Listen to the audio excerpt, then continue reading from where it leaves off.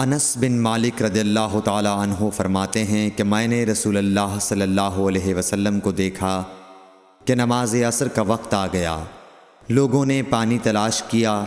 जब उन्हें पानी न मिला तो सल्लल्लाहु अलैहि वसल्लम के पास एक बर्तन में वज़ू के लिए पानी लाया गया।